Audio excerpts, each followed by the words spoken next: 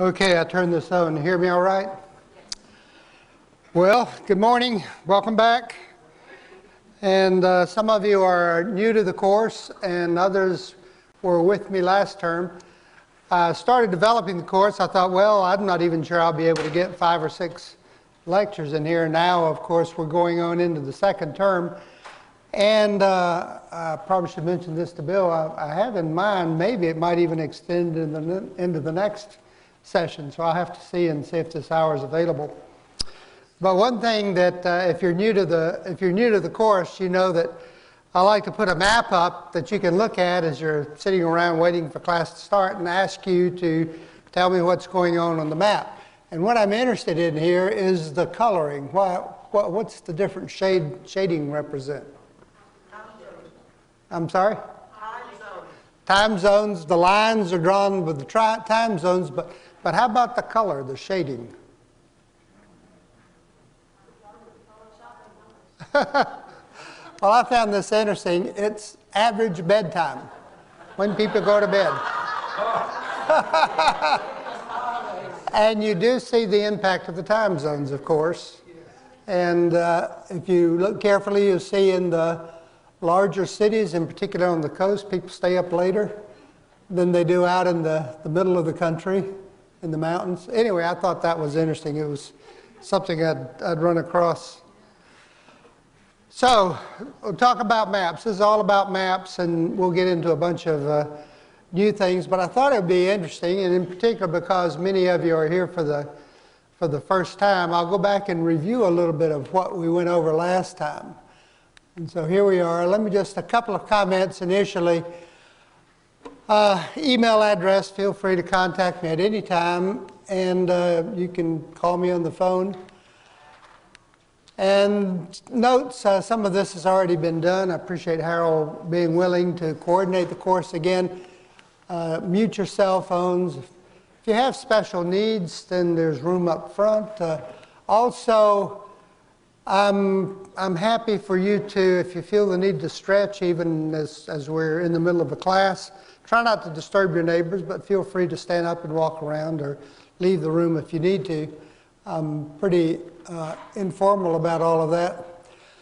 One thing, one problem I ran into last time, I like to send you emails and links to the slides that I post. And I'm using a Google account, and so I ran into problems. Uh, Google is pretty um, uh, careful about not, not wanting mass mailings, you know, for, for various reasons, not wanting people to, to send out uh, commercial spam and, and that kind of thing. So basically what I came up with, I was getting rejected by trying to send things out that way. And so I've set up a Google group uh, for this class, and it includes, some of you signed up for that last time. And so what I will do is send you an invitation to this Google group. You don't have to have a, a Gmail account or anything. All you have to do is accept to be part of the group. And they're not going to track your locations and find out where you live from China and all that kind of stuff. So if you will just respond in the affirmative, if you want to receive links to the slides, then that seems to work pretty well. So just say yes, and then if you want to look at the slides later or not, I'll send messages to the class uh, through that method if I'm having uh, problems doing it by just direct emailing. Uh, let's see, what else did I put up here? It's continuation of last time. Uh, again, uh, caveat, be aware that I'll have internet links and the internet changes, so every once in a while a link gets broken and what's supposed to show doesn't show, and we'll try to get that figured out. Okay, recap from last time, just real quickly.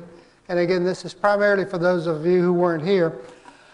Uh, talked about maps being everywhere. They're, they're all over the place. We see them here and there.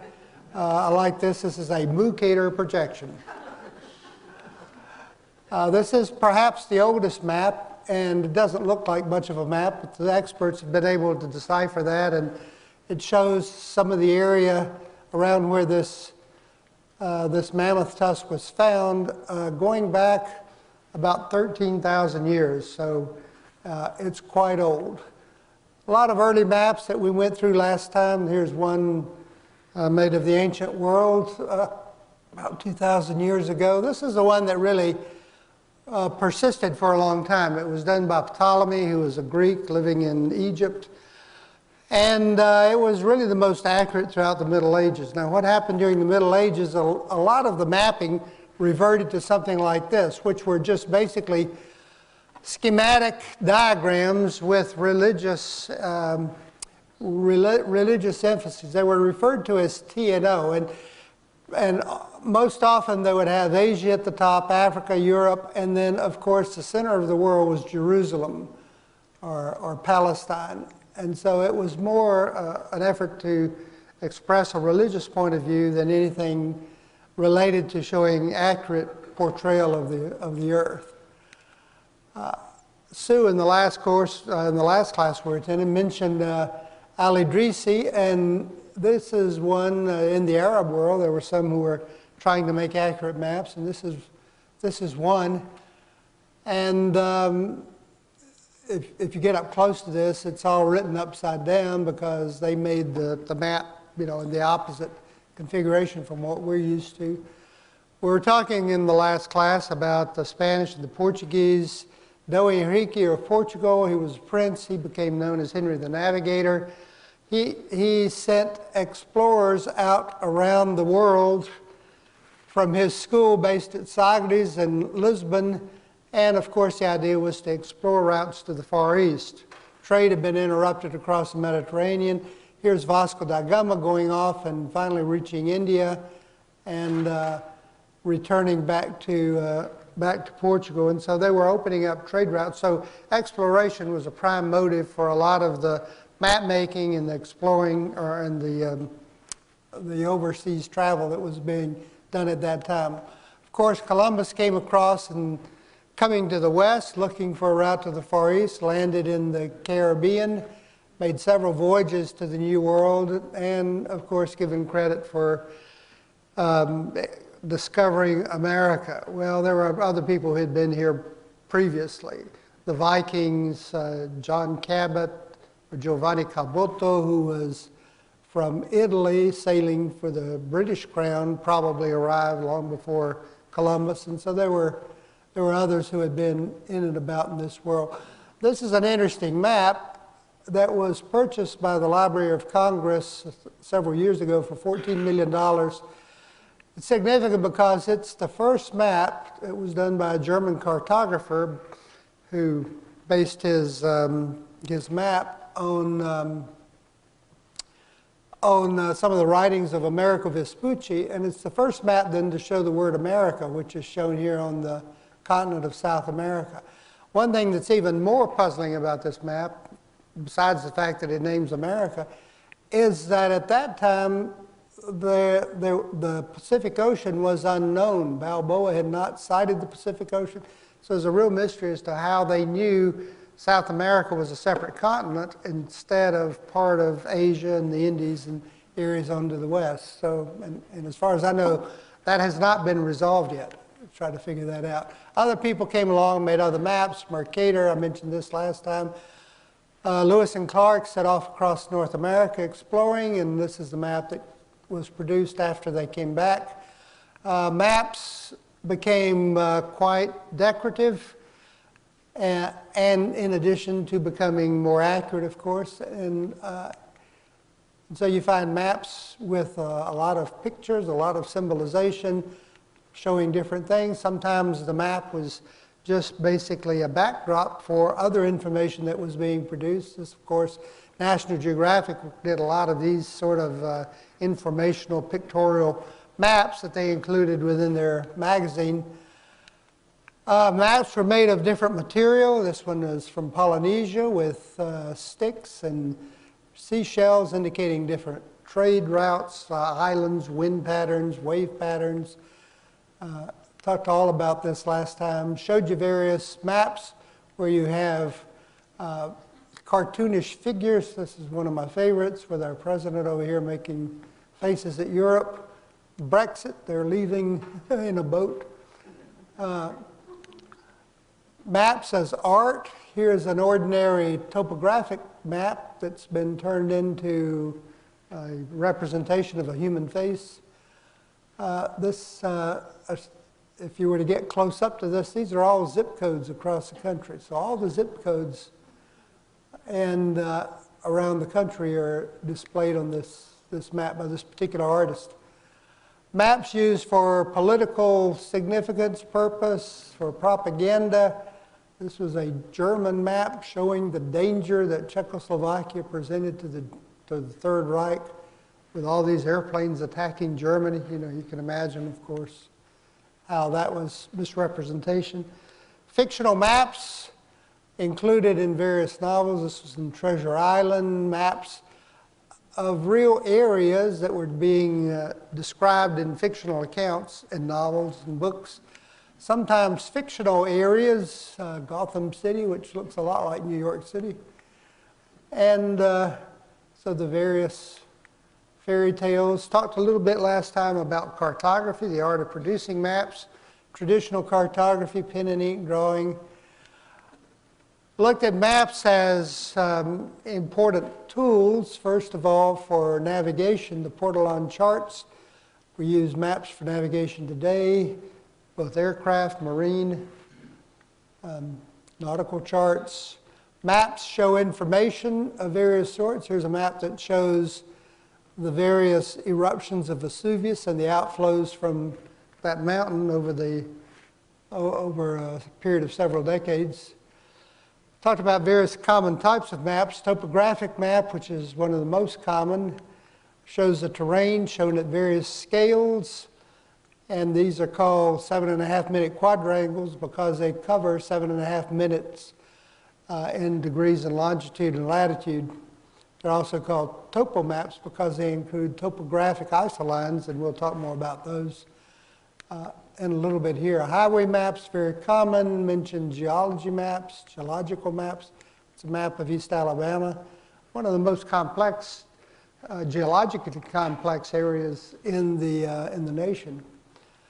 Soil maps, um, talked about that last time. Basics about maps. Maps are really uh, collections of symbols. So you look at picture of the Earth taken from a satellite and compare it to a map, and you can see immediate differences.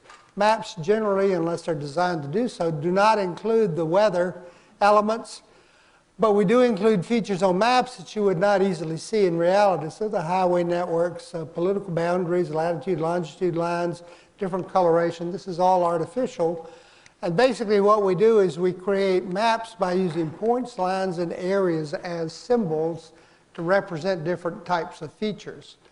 So point symbols maybe for cities, lines for roads or latitude, longitude, and then area symbols here in this case would be would make use of color. The colors represent different things. Elevation on land, and of course blue representative of water, which is uh, a common use of color on maps.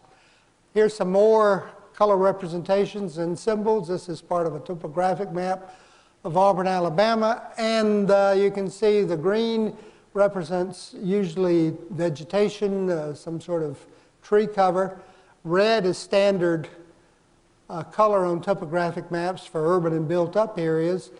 And on these maps, the purple is often used for updates. And so they won't make a new map, but they will update existing maps and use the color purple to show areas that have been uh, that are new, newly uh, developed with houses and buildings, things, things of that sort. This seven and a half mineral and used a lot of standard symbols on maps. So various symbols for roads, different colors. Uh, again, here a little bit later, I'll talk about symbolization. We'll get back into that.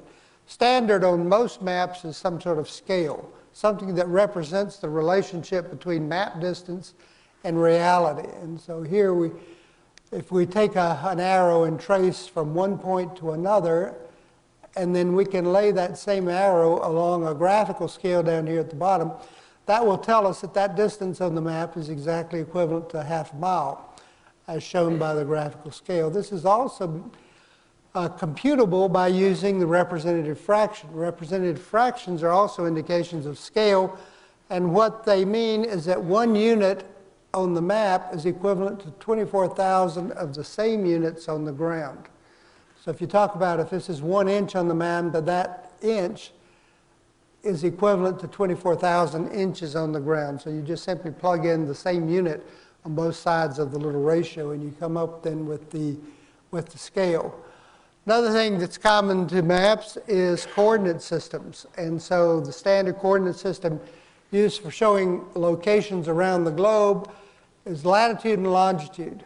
Longitude lines run north and south, and they're measured from the prime meridian around 180 degrees to the other side of the globe, and then 180 degrees in the opposite direction. Latitude lines run east and west. They're all parallel. Sometimes we refer to them as parallels. And the numbers range up to 90 degrees north, 90 degrees south. So the latitude and longitude lines are intrinsically different. You can't just flip them around 90 degrees and they do the same thing. No. Longitude lines are all the same distance. Latitude lines are all of different distances and they are parallel, whereas longitude lines converge at the poles. There are various other kinds of coordinate systems. I mentioned some of these last time. The UTM, Universal Transverse Mercator, it's the one that's commonly used in the military for various reasons. And it's a rectangular grid, and there are certain advantages for doing it that way, and we got into all of that last time. Also, the Public Land Survey in the United States, a lot of the, a lot of the roads, a lot of the parcels, especially in areas out west, were laid out because of this land survey that was, that was done. And so we refer to the back 40 and uh, section lines, things of that sort. Another thing that we talked about last time a little bit was the whole business of projections. It's impossible to show the curved surface of the earth on a flat piece of paper or a flat surface. And so you have to make some transformations. You have to do some modification to, to make it come out and uh, see what you're looking at. So there are various categories for projections. A conic projection looks something like, like this, where you wrap an imaginary cone around the sphere and then you open it up and see what you have. Or more common are cylindrical projections. Notice that a cylindrical projection with the, with the, with the Earth, uh, as shown here, would show areas near the equator as, fairly, as being fairly accurate but you would have distortions as you move toward the poles. The greater the distance between the surface of the, of the projected uh, figure uh, and the, the actual surface of the Earth, the greater the distortion. You get to the point where you will not even be able to show, on a typical cylindrical projection, you could not show the pole. There's no portion of this cylinder where the pole would actually, would actually appear. Uh, azimuthal projections, where you project on a flat surface, uh, a variety of other ones, polyconic are very common. So we went into a lot of that stuff last time. So basically that's sort of in summary. So you didn't even need to show up last term. You learned it all right here in one fell swoop. So that's, that's what we did last time. And uh, just to kind of recap, and this is more from our own, from our own thinking than uh, you need to to think about. So that's basically what we have done up to that point. I'll show you where I plan to go. We're going to start talking about data maps, mapping various kinds of statistical information in, in a variety of ways. I'll give you a couple of sample applications of spatial analysis that make use of maps. And, um, you know, we can talk about that. One thing, for example, that's very much in the news now is this is the spread of the coronavirus and the quarantine of uh, large portions of the population in China and all of that. Well, a lot of uh, epidemiology and disease uh, can be um, can make use of graphic spatial analysis and make use of maps. We'll talk a little bit about remote sensing, satellite imagery, aircraft imagery. Now we're using drones to fly around and look down at the Earth. A lot of new technology, computer, internet stuff, Google Earth. Uh, Google Earth is a free application. In fact, it's Google Earth Professional, which is used to be for fee, commercial, but now it's given out free. It has a lot of capabilities that are interesting to, to look into, and I'll show you how to use some of that. Uh, eventually look at GIS, Geographic Information Systems, which is a large area unto itself maybe get into a little spatial modeling, so that's kind of my idea of where we might go this term. So we'll see how far we get and go as we go forward. We'll go back and look at coordinate systems for just a minute. Latitude and longitude is the standard way of identifying location around the, around the globe. You can identify any point on the surface of the earth in terms of its latitude and longitude. Now remember, latitude is fairly easy to determine if you can look at the North Star, which sits above, well, way out above the North Pole, and uh, look at how far up above the horizon it is, then you get some idea of how far along this curvature you are. That angle uh, where you uh, where, where you look at the where you look at the the polar star will give you the latitude, and you can deduce that. More difficult to determine longitude. So last time, if you recall, uh, we uh, talked a little bit. Well, here we go. I was just going to describe. All right. So there you can measure that angle there will give you the latitude uh, of that position on the Earth. But with longitude, the best way to measure longitude is with an accurate clock.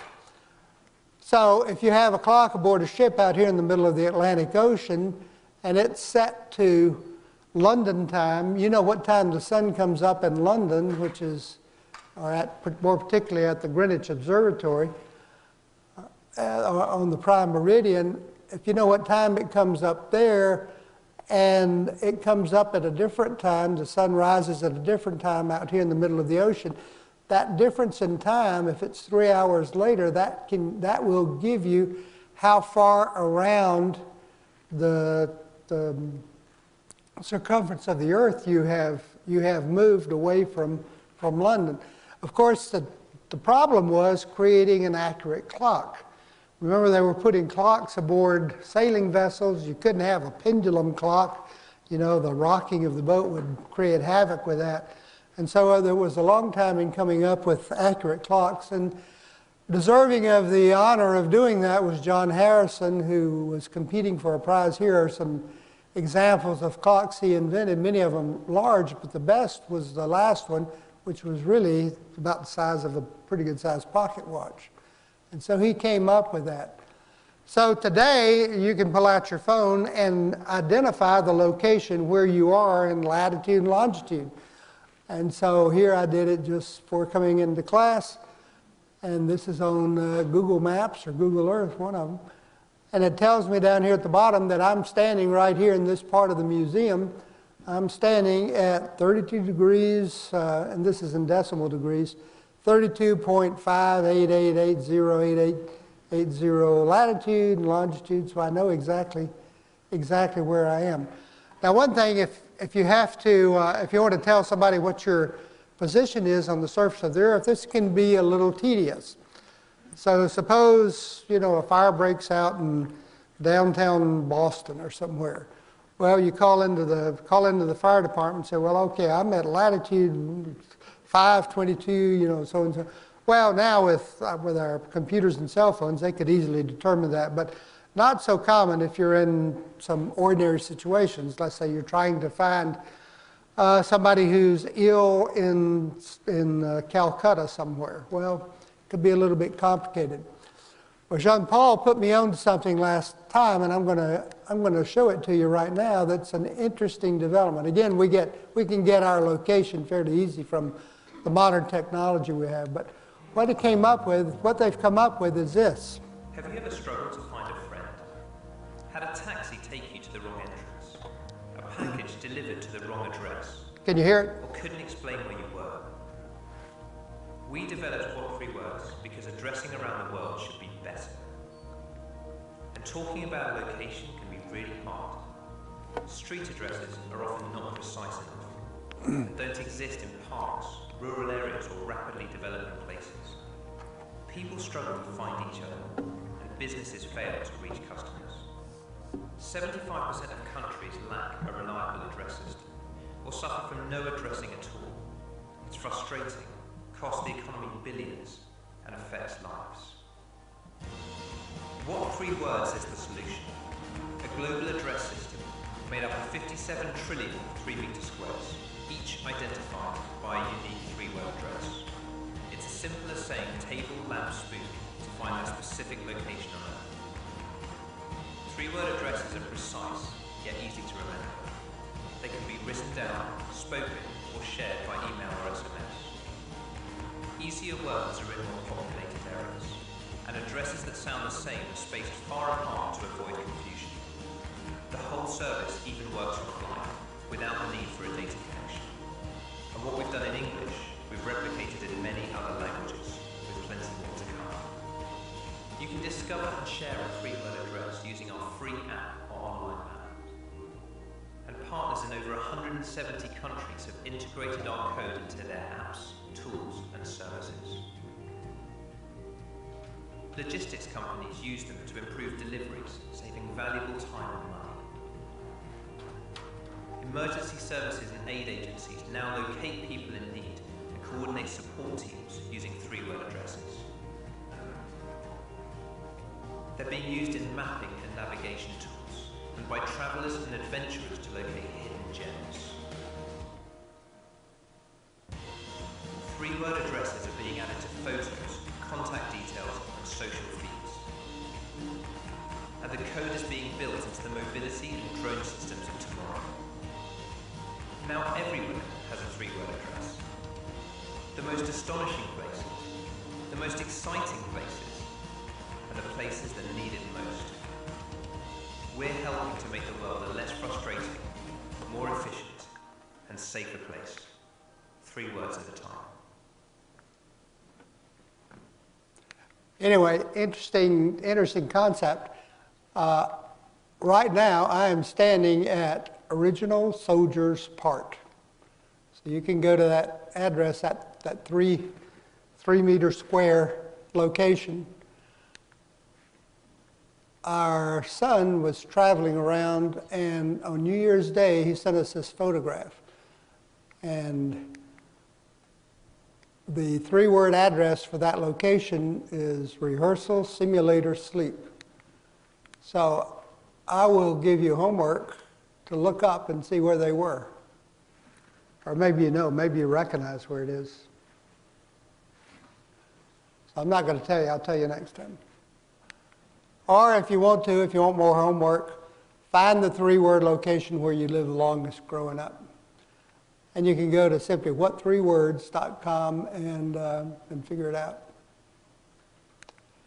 Okay, we're going to talk about thematic maps, data maps of various sorts. Maps come in all kinds of all kinds of uh, flavors and configurations and different ways of showing things. Talked about some of these already. Standard highway map showing road features, roads, lanes, streets. Watersheds,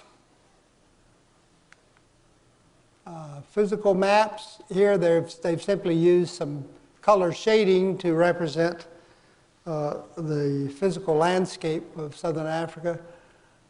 Here's just a standard political map showing the divisions within China, the different provinces. And uh, here's a geology map I showed before. So when you start talking about data of various sorts and making maps, then you have to think a little bit about classification. You're all familiar with this kingdom, phylum, class, order, family, genus, and domain at the top. I had to add that because it didn't have the figure. And I don't know about you, but I remember memorizing certain uh, phrases to try to. So, dear King Philip came over for good soup, was one I recall. This one's even better. Dumb kids playing cards on freeway get smashed. That goes from D, domain, K, kingdom, phylum, class, order, and then species for smash. So we, we classify things in, in a variety of different ways, and that's important for map making because one of the things we do with maps, of course, is create categories of classifications to help us to help us understand what's going on. Now, this is a hi- this is a hierarchical classification. It goes from big to small, uh, lot to a little bit, to top to bottom, you know, those kinds of, sometimes it's, it involves numbers, but not necessarily. But there's a lot of categorization that doesn't involve any kind of hierarchical relationship. One thing is not better than something else, it's simply different. So I give you an example here of uh, classification of different uh, video or movie genres. You know, there's nothing particular better about one. Well, maybe better. You don't want your kids watching it or something, but uh, the, in general, they are all qualitatively different. I don't know if you know this, but Netflix has hundreds and hundreds of different categories. I just copied a few of them here. The A's, and they just run all the way down to the Z's. And some of them kind of interesting. Uh, well, anyway. So you can, uh, if you were to sample something from each one of these Netflix categories, you would be spending a lot of time in front of your, in front of your TV set. But this is all, this is all, these are all qualitatively different. And the same thing happens to maps. So the map on the left shows, uh, I'm not even sure what the variable is, but there's an implied uh, increase of some sort. This might be a weather map of some sort, maybe these are temperatures. They get progressively colder as you go off into the go off to the north. But the map on the right, these are NFL fans. You know which area has the most, which team has the most, the largest fan base in a particular area. So this gray area here must be the Dallas um, the Dallas team. Um, I would guess these are the New Orleans Saints, uh, Atlanta Falcons. And so those are just simply qualitatively different from each other. Yeah. So hierarchy would be big to small, first to last. And so many of the maps that we show have symbols that are qualitatively different. And we symbolize these in various ways. So we'll show a map that includes mountains, rivers. These are various kinds of features without a particular relationship. Now notice that there is some categorization in this. So if you look at if you look at roads, a lot of the roads, well, let's look at these. A lot of these lower level political boundaries are are shown in red. Some of these are in in black. The uh, as you move up the political hierarchy. And so line symbolization, which is all I'm showing right here, sometimes can make use of some classification within it. There's one thing that's important, and uh, just to talk about symbolization for a little bit, there's some standard conventions when you, when you use symbols, line symbols. So one, one standard characteristic of political boundaries is the higher in the political order you are, the higher in the in the political hierarchy, the more complicated the line is, the more complex. So in an international boundary, notice that it's a dash with two dots and a big heavy line. A state boundary would be something not as, well, this is not really illustrating what I was hoping, uh, but it still includes two smaller dashes. But as you get down to civil or county, the lines then become more simplified.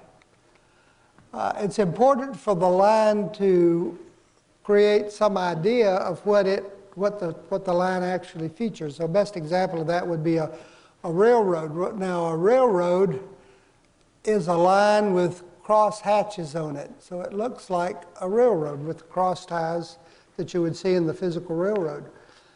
But unless it's a monorail, then a single line doesn't really show you a picture of a railroad. Uh, speaking of railroads, uh, I thought I'd show you.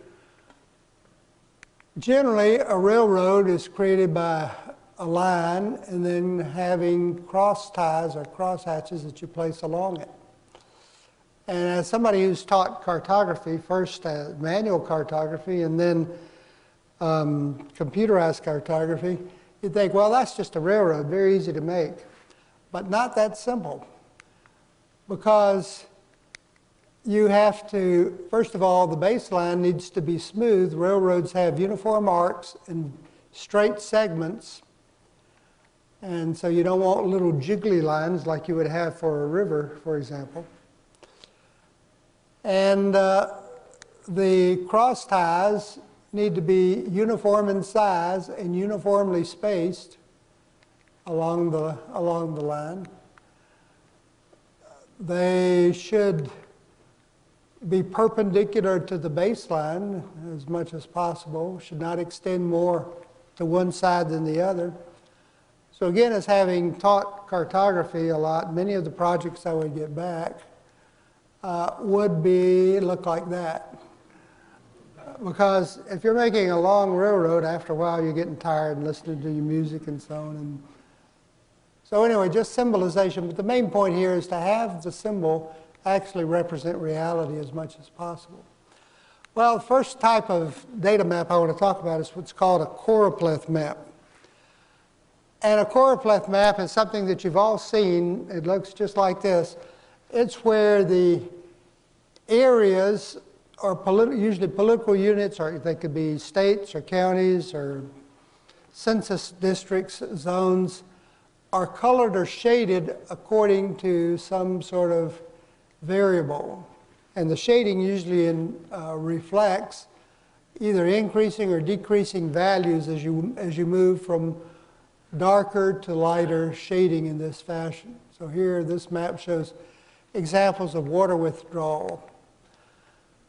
And the important thing is that the, the whole area is shaded dependent upon what the value of that area is. So there's a certain value for the state of Texas, and you then color in all of the state of Texas to represent whatever that value is for that particular, for that particular collection unit.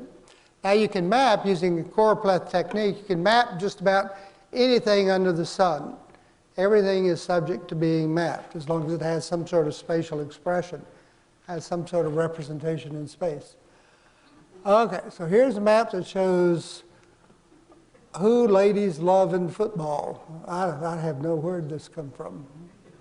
Oh, well, well, anyway, it was. And so these are, now this is back in 2014, so Colin Kaepernick was still playing out in California. He's, I guess that was before all the political controversy. And so here, and this is determined by, I guess, the, the top selling female football jersey. Blake Bortles, which I didn't think was that, that great a player, played for the Jacksonville team. Uh, but you can see, uh, you know, Aaron Rodgers, that makes sense. But these, these areas now are qualitatively different. You know, there's, there's nothing numerical associated with any of these, any of these categories. And so this is an example of nominal data. Nominal data, then that's where things are qualitatively different. The best example are political maps, where we will color the different countries or the different states uh, based on their, their political associations. So the various countries then are differentiated by, by different colors. And so, and that could be used at, at any level. It could be states, it could be counties, or, or anything. So there's no hierarchy or numerical relationship here between these different, these different areas. So here's an example of nominal data that's binary. What side of the road do you drive on? And you can see most places you drive on the left, except places that came under the British influence. And Japan, I guess. Japan, I don't know if they were, that was British or something else. But everybody else drives, uh, I guess we drive on the right, they drive on the left. You know, we were in London last, last summer or a little longer. And you know, they've got all the all over the all over the city. They've got uh, signs painted on the sidewalk. Look right. Uh, I think that's what it is, isn't it? Look right, because that's where everything's coming from and stuff. Here's another one, binary. Well, what system do you use? Metric? No, we're in the minority now. We use something strange other than metric. Uh, and notice that only Thailand and you know what country that is? Liberia. Why would Liberia use what we use? Because they were founded, they were established by returned slaves, you know, sometime in the past. All right, again, here's nominal data. These are, again, different categories using different colors to represent certain va- values, and this is a lead- leading cause of lost years of life. And you can see the various diseases down at the bottom. Heart disease, HIV, malaria, and heart disease pretty much universal as the primary reason why we die early. Here's another one, similar category. Uh, these are all qualitatively different. This is the second language in, in London. And it was interesting to me, a lot of Polish, more than I would expect. And of course, you can see the, the presence of people who have come from India and um, throughout, Turkish enclave in the north, uh, Pakistan, Spanish and Portuguese downtown. So that, I, I thought that was a, an interesting, a lot of different ethnic groups, of course, in, in London. It says uh, favorite beers. uh, Coors in Colorado, that's not surprising. And I don't, um, you, you know, you, you, you beer lovers would know more about recognizing the labels than, than I do, but Is that Lone Star in Alabama? uh, Lone Star, I guess. Really? I don't know, what what is that? Should be passed. Okay, and here, here's a map. This, this doesn't relate exactly direct, but it's, it's a choropleth map of the historical evolution of Europe. And you see population over on the left, and the date up above, and the different uh, combinations and divisions of the political areas of Europe as time moves forward.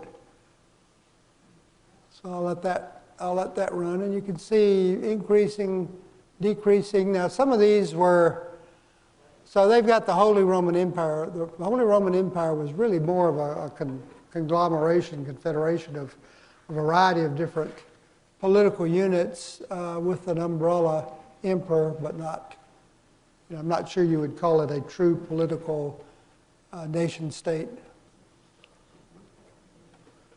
See early consolidation in France and England, of course.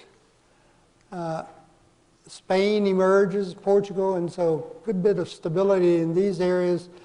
Notice that Germany and Italy are still not unified until you get into the, I guess, into the uh, 19th century.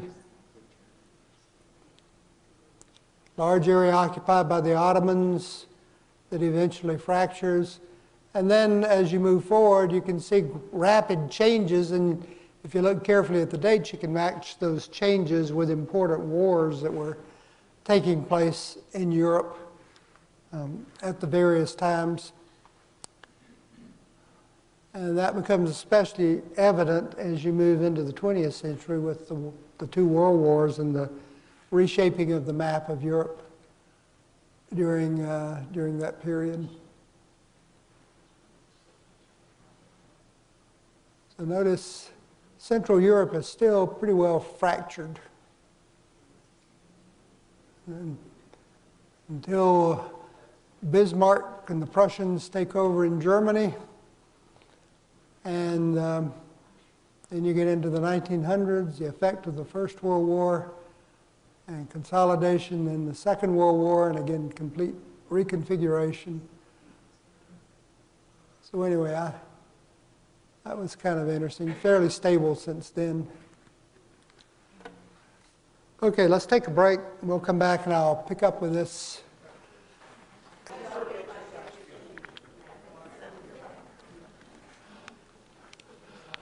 One, one thing I wanted to mention at the beginning and forget. Okay, let Emily sit down and then I'll start. one, one thing I failed to mention at the beginning that I, uh, I want to do is if you're not on the uh, official roll, if you just walked in and want to sign up for the course, just write your name and especially your email address down at the bottom of the sheet. And I'll, after class, I'll go back and I'll collect those and add them to the list that I will then send out uh, notices about joining the, the Google group and everything. So, so if you want to receive the, uh, the information from the class and then look at the images, uh, make sure you get your name on a list out there at some point. Okay, one thing that I thought I'd just mention, not going to go into, and let's see, Jane Brown's in here, she could probably tell us more about this. The whole mathematical thing about the four color map theorem. And that is you can color a map, again with this choropleth technique, by using no more than, no more than four colors. In other words, you don't need more than four colors to ensure that every one of these areas adjacent to each other is of a different color.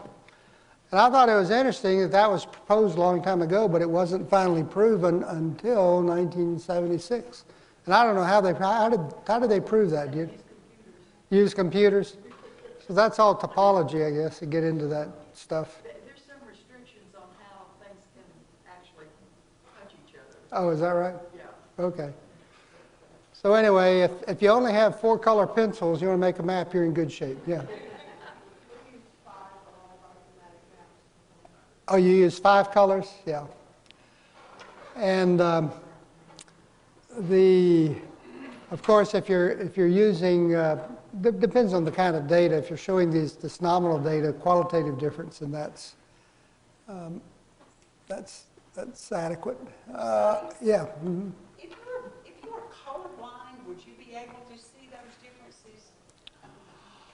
Uh, what is it? Red and green, right? Uh, colorblind. I don't know, but I know that they don't perceive Yeah. color the way, you know, most people But do. you, do- you can see shades. We See. have it in my family. Uh-huh. can see shades, darker lights and that Right. of thing, so you would be able to tell that difference, that difference. Okay. But there's a lot of things that they do that I see on the computer that my son that is severely colorblind, he's like, I don't know what that is. You know? Mm-hmm. Well, and you know, in the stoplights, they used to be red and green. Now they put some blue in it and all to try to make sure that people can differentiate those. Where those. my grandmother lived, they had some really, when I was young, they had some really cheap stop, stoplights. Uh-huh. Red was not always on the top. Oh, They had a light bulb. okay. So from this direction, red would be on the top, from this direction, red would be on the bottom. you had to be careful. The other one was showing green. My dad got a traffic light on, a traffic ticket. Got a ticket. He's colorblind, two in Uh, morning. Okay. The four color thing only works if, if you have just one contiguous country. Oh, is that right? If you've got like Germany and East Prussia used to be, Uh, it blows that up. so that messes it up. Okay. Well, I don't. I don't know enough about this math stuff. I'm going to stick with geography. All right, well, here's, here's another one. Again, choropleth map, and what I wanted to show here is notice that you're beginning to get some categorization, some groupings, uh, some sorting out. So they'll have residential areas, and then they actually, on the legend over here, they make a separation and identify commercial areas, industrial areas, and to some extent, not, not done real well, but to some extent, the coloring of the map represents this classification. So this is not just pure nominal, qualitatively different, but these, these do break down in certain categories. So if you look at the map and you see purple areas, that generally reflects some sort of industrial, some sort of industrial reason, so region. So um, that's, that's also possible and something that you can do then with these, these types of, these types of choropleth maps. Uh, choropleth maps are used widely for representing interval or ratio data. And that's, of course, numerical data of some sort. And that you vary, it varies in quantity, intensity, you know, whatever the numbers are. And again, you want the shading or the coloring to be reflective of the trends of the data. So if you're going from light to heavy, then you want to go from maybe a light shade to a darker shade. You just want to make sure that that progression in, in the data is illustrated, is represented, the, the, progression that you see on the map of the different shades and intensity of the color is representative of the way the data actually breaks down. Okay, so here, this, uh, this, this actually could be, um, you know, back to the binary nominal data, although it's more cat, this is do you love dogs or cats? I guess if you love lizards, you don't fit on this map, but, but what, is your preference? Interesting pattern, I guess, with the cat lovers more up in the north, dog lovers in the south. Maybe cats better at staying indoors, cold climate. I don't know. I've looked at this and try to come up with some sort of rationale for it. Uh, but the, again, the shading corresponds to the relative value. Here there are two different colors and different shades. And notice that the colors indicate opposite trends.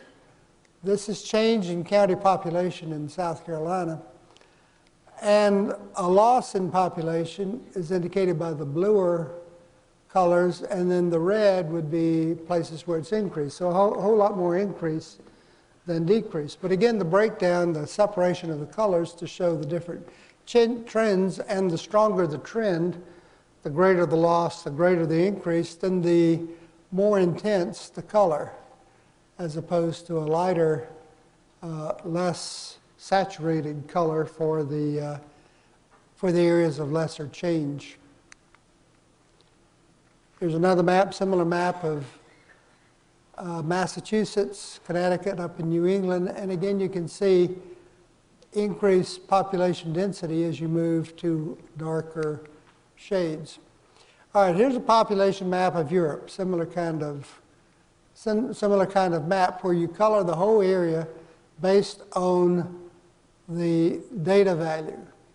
So countries with large populations, that would be West Germany. This was when they were, yeah, no, this is Germany. And Russia, they have the largest population. And uh, there's a problem with this kind of map, though. All right, notice how many purple areas. Purple is the lowest. Well, Iceland, not many people live in Iceland. And uh, let's see, Andorra. Uh, you can't see it, but Liechtenstein, Cyprus, Luxembourg. So, big countries have more people, right? so the map, the coloring on the map, it tells you that it's, and it is in fact showing total population, but really what it's doing is confounding two variables. One is population, and the other is area. The bigger the area you have, the more people you're going to have in that area. So you can't, you couldn't begin to cram 100,000 people or 100 million people into, and, into Andorra. Okay, so illustrate those small areas. Well, here's another map. This is showing crime in Las Vegas. Uh, problems with this map, no legend. I don't know what those colors mean. You know, and again, I just pulled this off the internet. I'm, I'm hoping that this was picked up and posted by somebody who, you know, if you went back and traced it back, you could identify what the, uh, what the numbers actually represent. So you don't know. It says crime and incidents in Las Vegas. Well, are parking tickets crime or, you know, what, murders? And another thing here, this is absolute inc- incidence of crime by zip code. You know, that's pretty evident. But again, you're getting the problem of confounding variables. You have incidents of crime, but these are the more heavily populated areas, and so you would expect to find more occurrences of criminal activity in areas where you have more people, right? And so you're actually mixing some things together. So in both of these cases, we've got this issue of confounding variables. In this case, the size of the country makes a difference. So you, you want to show population, but really you're showing uh, the relative size of the country by this coloration more than, than anything. And this is a very, very common occurrence, common problem when you look at choropleth maps, that people would just get some numbers, some data, and start mapping it using this technique. and without giving much thought into what they're really trying to represent or trying to show. So, how would you take care of this? What would you need to do? You need to map population density. You have to, in other words, choropleth mapping, you have to do a ratio or a percentage of some sort. So here's the original map of, of Europe. Here's a map of population density. In other words, how many people per square mile or kilometer, or whatever the, the figure is. And it's a much more, it's a much more logical map than this one is. And so now, if you look at Russia, Russia actually has fewer people per area than uh, most of the other areas here in, in Europe. And so population density, in, in this case, you're mapping people per unit area, per square mile. And so when you do a choropleth map, you need actually two variables. You need the primary variable of interest, and then you need the second variable. In this case, you need area. What is the area of the areas that you're mapping in order to standardize that, to standardize that uh, data? So here in this case, density, number of people per square mile. All right, here's another map. This is, it says urban population. These are the total number of people living in urban areas for Africa. And again, you get something similar to what we were talking about. Though for smaller, smaller countries like Gambia are going to have fewer people living in urban areas. Here's total population of Africa. This map looks a lot like this map. The more people you have all together, the more people you're going to have in urban areas. You know, so you really haven't mapped too much. This map, you think you're, you're talking about urban areas, urban population, but really you've made a map that just reflects total population, you know, the total number of people. Now, what we could do is, for let me see what I have next here. Okay. So there is a map that shows percent urban. Let me go back to this one. One thing we could do is we could standardize, like we did with the map of Europe, by total area and say, well, how many people per, per square mile? And that would make a much more sensible population map of Africa. And by sort of association, would make a more sensible map of the urban population. But really, probably what you're interested in, if you're talking about urban population, you don't really want as much to know about how many people, how many urban people, that's people living in cities, per square mile, as you want to know what percentage of that total population is urban. Right? So, not how much per square mile, as what percentage of the total population is urban. So, in this case, rather than standardize by area like we did for Europe, how big the country is, you'll want to standardize by total population of that country. How many urban people per total population? What percentage of the total population lives in cities as opposed to rural areas? Is a much, that's probably what the author is trying to show here. And so that's what this map is. That's percent urban, and here you get a, a feel for how many people live within the cities. Now, to be honest, I don't really know exactly why these maps were made. Maybe there is some reason, something, you know, as part of an article or something that where this is exactly what he wanted to show, but not necessarily. It's my guess that this would be a better map to represent what we're showing. And in this case, you're looking at urban population as a percentage of the total population. So again, if you're doing choropleth maps, you need to do you need to do two things. You need to map, you need to think about the primary variable of interest, in this case urban population, and then you have to give a lot of thought to the secondary variable, the standardizing variable that you're going to divide through by and get the percentage that you're interested in. All right, so there's urban, there's urban density, and you see you get a very different map. And maps then convey information. This conveys really quite different information from the one on the left. Okay, here's similar kind of issue, similar kind of problem. Total population, this is the Bay Area up around Boston. And I guess these are all zip code areas perhaps.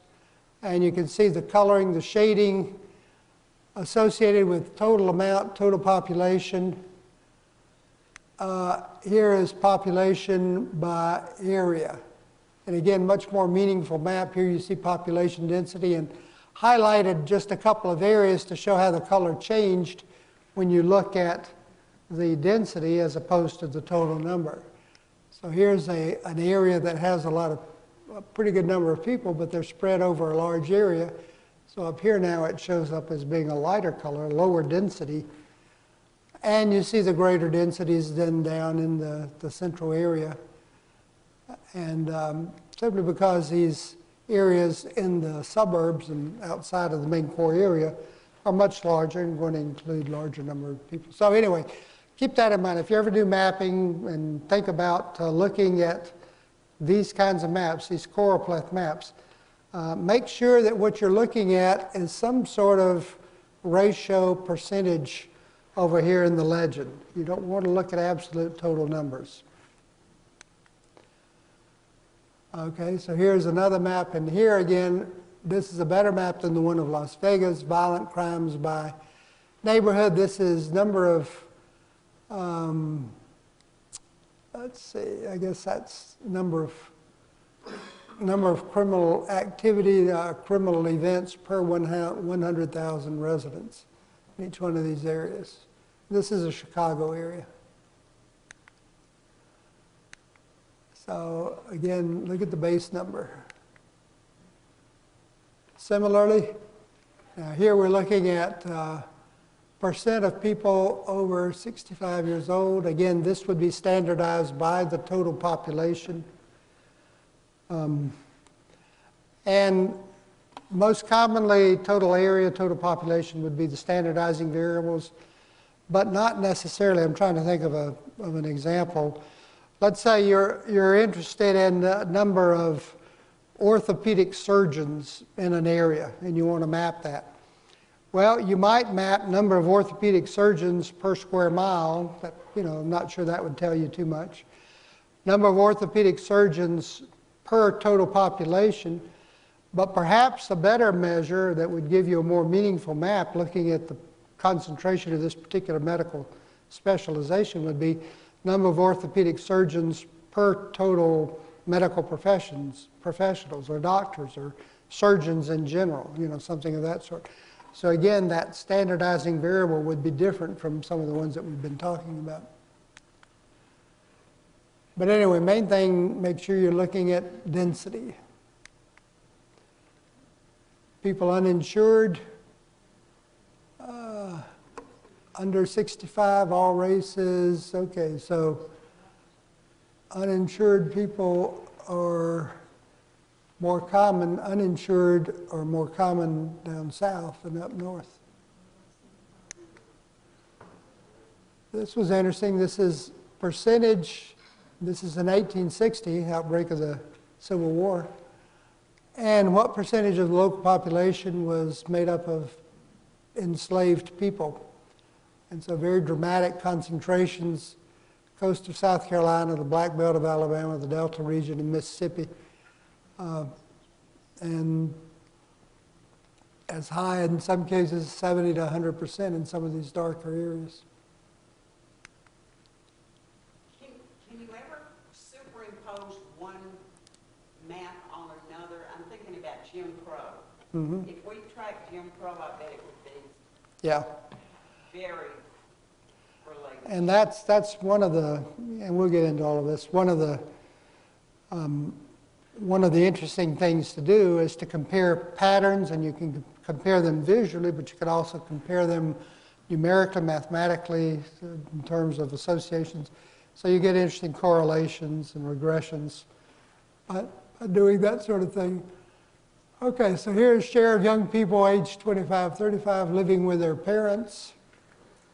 Uh, I know a lot of cases like that. It seems to be more common in Scandinavia than areas of Eastern Europe.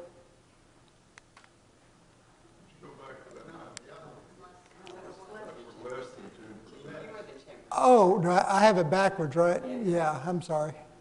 Okay, yeah. So I guess in Scandinavia, you move away from home early. Thank you. And by, and for comparison, the United States, 13.9. Let's see, what is this? Uh, average age of principal farm operators. So farmers, how old are they? And you can see areas where the, the farmers are older. A little bit surprising to me. I would have, I would have thought maybe some of the plains Midwest areas where a lot of people have moved away from the farm, you might have uh, some of the older populations out in, in those areas. That could be principal farm operators, that could be daddy owns the farm and the boys work on it, Yeah, but they're not included in the principal operator. that's right, yeah. Yeah, you'd have to go back and see exactly how the data were derived. And, you know, I didn't take the time to do that, I just thought the map was interesting. But at least this one gives you a reference, U.S. Department of Agriculture, and you could probably track it back and eventually see, you know, they'll have metadata information, things that tell you where the, where the data come from. Uh, Okay, well, here's just a general choropleth map. I think I've already made this point. What you want to do is make sure that the shading is representative of the trend in the data. So if you look at a map like this, don't say anything about what it is. The implication of that map is that these, whatever the map is, the colors represent uh, areas that are qualitatively different in some way, that there's no implied um, interval or, or relationship, hier- hierarchical relationship among, among the data. Well, when you get into choropleth mapping, there are several things to consider that are, are critical. One is the classification scheme. So here, I'm mapping population, I'm not doing, somebody else did. Population density of Ohio, they are using a density value. And they have created five categories, and I won't go into exactly the, the numbers here. But you can see that very few areas, the area around Columbus, Cleveland, Cincinnati, I guess, show up dark, but everything else is very light colored. Now, here they have gone and created some natural areas where, where you look at a data distribution and you see breaks in the data distribution, then you try to create a break at those places where you have fewer, fewer occurrences of the data that you're looking at. Another common practice is to use quantiles. And what quantiles means is you take the total data, the total number of counties, and if you want five categories, you divide up whatever many counties you have and ensure that one-fifth of all the counties show up in each category, you know, and break the, divide the data in, in that way. And so that's a common practice. A little bit difficult to, to interpret the legend when you do that because you might have just a small gap between one shade and another and then a great big gap here among the others. And then you can create various complicated geometric or logarithmic progressions in your, your data. And so the point I want to make here is that the same data, depending on how you divide these categories, how you break this out, can be shown, can make very different looking maps. And it can create different impressions in the mind of the reader when you, when you play around with these sorts of, these sorts of numbers. So choo- choosing that range, that break, is important. Here's another example of this sort of thing. So here are crude birth rates in the United States. And uh, you see that map, and again the, the categories, and it suggests that the rates, you see a lot of white areas, so that gives impression that the rates are low. Could create different breaks here though, and it would imply very high birth rates. Again, all based on the, the way you divide and break up these, these different uh, range intervals. Sonny, Same kind of thing here. Yeah. one of the problems I have uh, with maps like this, Mhm. including the, the one previous one, the Ohio map with various shades of blue, is that, and I, I understand we're looking at it on screen rather than on, in the actual page. Right. It might be clearer, but so often, to my eye, uh, two of the categories are more sort of run together, so that, Mm-hmm. uh, you can't really differentiate very clearly, for example, between them. uh, Right, Mm-hmm. The two darker categories look exactly the same to me. yeah. I understand we may have an interpretive problem when we're looking at it on the screen, but even, even on, on, a- in a book or on a page, sometimes I have trouble with that. Yeah. It may be just my aging eyes. No, it's not. That, that's, that's an important area in cartography, is learning how to try to create categories that had, that are visually distinguishable from each other. And they, in general, the theory is that if you get beyond five, six, perhaps seven at the most, even using color, you're going to have, our perception is going to be, it's going to be very difficult for us to perceive different tonalities in these areas of the map, which kind of defeats the purpose of creating the different shadings on the map. Now, what they will do, and again, this gets into uh, psychology and perception, it's much easier to distinguish between, let's say, a pure white area and an area that is slightly gray. So let's say an area that's pure white versus one that is 5% shaded will show up distinctly to your eye. And similar, one that's perfectly black and one that is maybe 95 or 90% shaded. So you get, you can perceive that difference much more clearly than you can, let's say, within these mid ranges where you have something that goes from 45 to 55%. You know, and that has to do with the way we simply perceive, you know, the way our eyes work and our brain works. And so there's a whole area within psychology that has to do with this study of perception and how you would and so if you're if you're really being serious about making these sorts of maps then in creating the shading you want to ensure that you have a smaller gap between some of these border areas than you do in the in the central ranges now what happens with a lot of contemporary mapping is there are computer programs that sort of uh, have standard default action. And so you say, well, I want five categories, and they'll just break it in 20, 40, 60, 80, and 100, you know, that kind of, that kind of breakdown. And that creates a map that, that gives uh, poor perception distinction among the various, the various categories. So you have to sort of tweak those, those kind of things. And um, again, that, that gets into the whole business of knowing what you're doing as opposed to just punching numbers on a machine and you know letting it letting it do the work. But you're exactly right on, on that point. Yeah, Bill. So the choice of these number values over each block, Mm-hmm. that, that would imply that in no state was the rate ever higher than, never got to twenty-two, or was never lower than ten. Yeah, that's uh, that's true. And then that gets into some other issues about well, is the way this legend is established, where would, let's say you had a value between uh, a value of 19.65, where, what would the color go for that one? You know, I mean, in, terms of number theory and so on, there's, there's no way to represent that, that particular value given the way you've divided the shading up here. So that gets into some other kinds of theory. Yeah.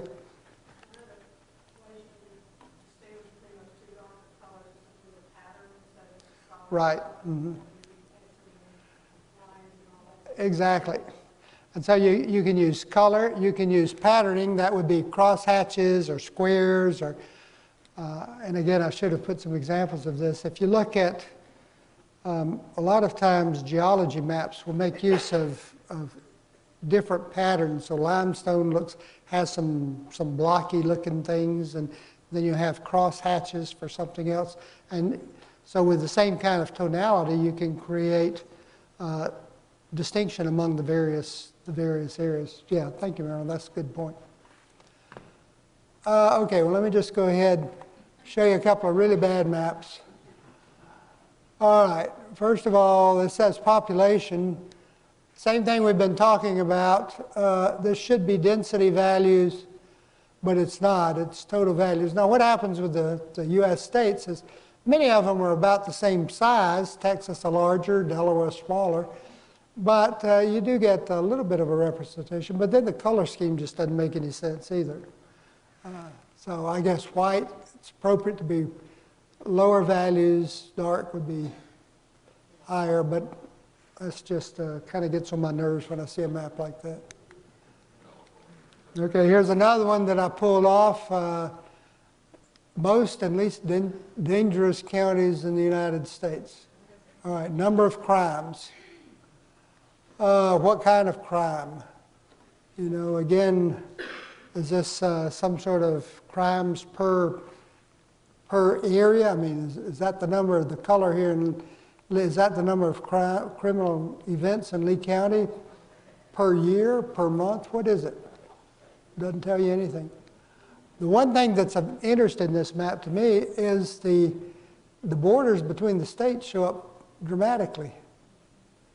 So that implies to me that whatever data they were using was collected differently, or there was something about the, you know, the publication or whatever data they used that made uh, the made the the patterns come out differently. I, it's not.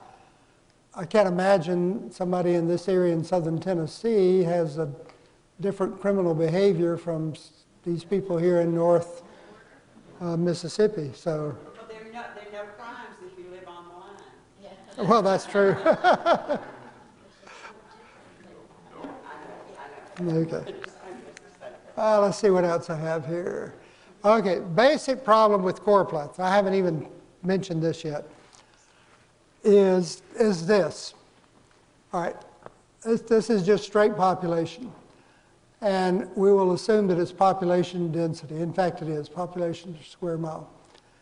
As you drive from West Florida into southern Alabama, in reality, does the population density change that much? Okay, it doesn't. So what you look at here is these are artifacts of the way data are collected. Uh, you know, you collect data. In this case, we're representing it, representing it by state. And so you don't, as you move from one state to another, fall off a ledge here, you know, jump or fall off. Or you go from, um, you go from California to Nevada. In this border area, you don't have this dramatic transition. What you do is you have big cities over in Western California that create the, the higher population values. And the other side of the coin is that across the states, you don't have uniform densities. So you look at Texas and it looks like everything's the same all the way across the state. Well, this, now it's necessary because of the way we collect data, but nevertheless, it gives you a faulty impression of the way things are really distributed. So one of the things cartographers do and people who analyze this stuff is, is well, let's see if there's some ways of making it a little bit more, con- make it conform to reality a little bit more. And so we have some other techniques that we'll use. Okay, well, we're about out of time, so this is a good place to stop. Let me see if you have questions about, about any of this. Anything? Yes.